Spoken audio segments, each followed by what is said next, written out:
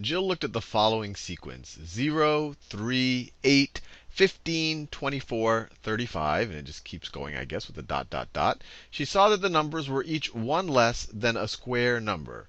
0 is 1 less than 1, which is a square number. 3 is 1 less than 4. 8 is 1 less than 9. 15 is 1 less than 16. Yeah, they're all 1 less than a square number.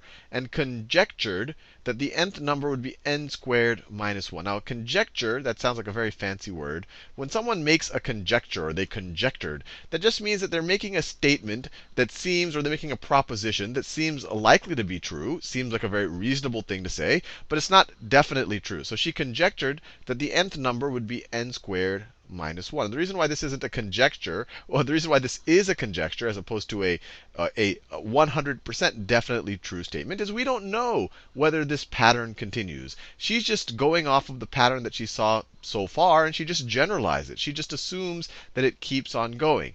But we don't know whether it necessarily keeps going. Maybe the next number, it's not, you would expect it to be 48, but maybe it's not 48. Maybe it's something weird. Maybe it's 2. Maybe it's 500. And so the conjecture wouldn't hold up if you were to see that. But based on the evidence you see so far, it seems completely reasonable that this pattern would continue. And so she conjectured that the nth number would be n squared minus 1. Completely reasonable. Now, did Jill use inductive reasoning? Did Jill use inductive reasoning?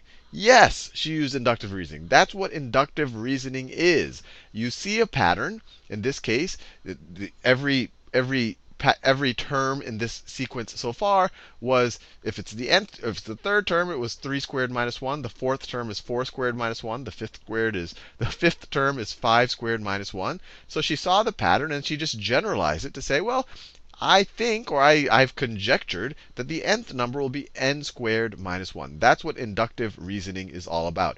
You're not always going to be 100%, or you're, you definitely won't be 100% sure that you're right, that the nth number will be n squared minus 1. But based on the pattern you've seen so far, it's a completely reasonable thing to, I guess you could say, to induce.